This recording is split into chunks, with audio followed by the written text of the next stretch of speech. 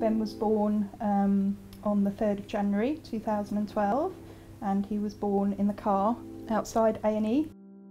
Ben was perfectly well then he just woke up overnight on the Saturday and started he was just crying in his sleep and jerking a little bit in his sleep and when he woke up in the morning he couldn't walk at all started having tremors and sort of uncontrollable jerking movements. He would be in the bed and he would just jerk to the bottom of the bed and then vomit.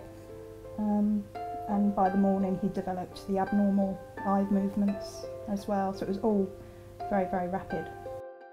It seemed every day they were coming up and giving you a different diagnosis, um, each one which was getting a bit more rarer than, a bit more than serious, before, yeah. and a bit more serious. And then Dr. Lim came to see us and you know asked about what had been happening and pretty much straight away told us he thought it He knew what it was, didn't he? Yeah. um, dancing eye syndrome. Dancing eye syndrome um, is due to a whole host of reasons. The biggest one we can identify is a tumor. So it's a tumor triggering uh, the condition, meaning that the immune system generally tries to attack the tumor but at the same time uh, attacks the brain. We know that despite treating them with all the treatment that we have today, at least 70 to 80% still have significant problems downstream, years down the line, and sometimes even into adulthood. And this could be in the form of motor difficulties, behavioral uh, difficulties, and also cognitive. An average patient will be started on steroids and uh, continued on steroids for a long period of time. If the condition has not uh, improved, then physicians would add what we call a second line uh, treatment or even third line treatment.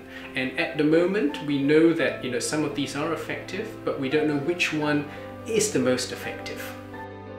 So the research project that Sparks funding is uh, based on evaluating a very standardized uh, treatment regime whereby it balances the aggressiveness of early treatment versus not over-treating the group that present mildly.